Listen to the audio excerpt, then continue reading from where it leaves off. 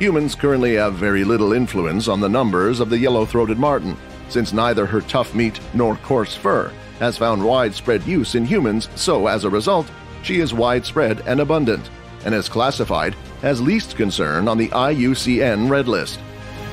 Although there isn't an imminent threat to the species, more concerted work is required to understand the nuances of its population, behavioral, and breeding ecology, especially in light of future climate and land use change.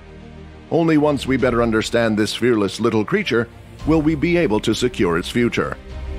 Tell us what you think of this beautiful, agile, fearless killer beast in the comments section below. Also, let us know what you would like to watch next time. Don't forget to subscribe to our channel and hit the notification bell so you don't miss any of our videos in the future. Thanks for watching.